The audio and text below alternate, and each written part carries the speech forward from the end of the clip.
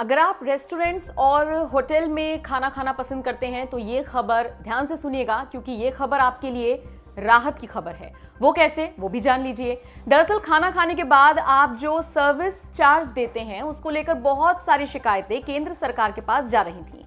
कहा जा रहा था कि रेस्टोरेंट्स और होटल्स अपनी अपनी मर्ज़ी से अपने अपने हिसाब से सर्विस टैक्स वसूल करते हैं जो कि ग्राहकों की जेब पर भारी पड़ता है।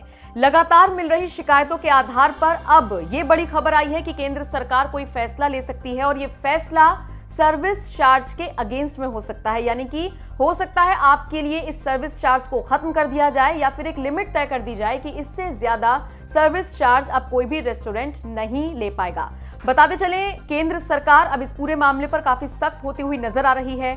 गुरुवार को एक बैठक हुई जिसमें सरकार की तरफ़ से साफ़ कर दिया गया कि खाने के बाद कस्टमर से ज़बरदस्ती वसूला जाने वाला सर्विस चार्ज गैर कानूनी और अनुचित व्यापार की श्रेणी में आता है।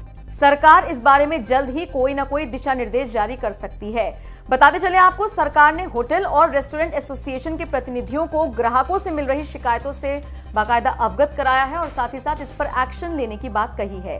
अब दूसरी तरफ़ रेस्टोरेंट्स और होटल मालिकों में इसको लेकर नाराज़गी देखी जा रही है। वो सरकार के तर्कों से सहमत नहीं है। उनका कहना है कि जब हम किसी भी डिश की कीमत अपने हिसाब से घटा सकते हैं या बढ़ा सकते हैं तो फिर सर्विस चार्ज भी हमें हमारे हिसाब से ही घटाना, बढ़ाना चाहिए। इसमें सरकार की दखलंदाजी नहीं होनी चाहिए। बहरहाल, अब देखना होगा कि क्या सरकार कोई दिशा निर्देश इस बाबत लेकर आती है। और अगर लेकर आती है तो इस पर होटल और रेस्टोरेंट मालिकों का क्या रिएक्शन होगा? वैसे आप बताइए कि सर्विस चार्ज जितना कि रेस्टोरेंट्स और होटल्स लगाते हैं, ये कहाँ तक जायज़ है? और जो सरकार इस तरफ़ कदम उठाने जा रही है, इसको लेकर आप क्या राय रखते हैं?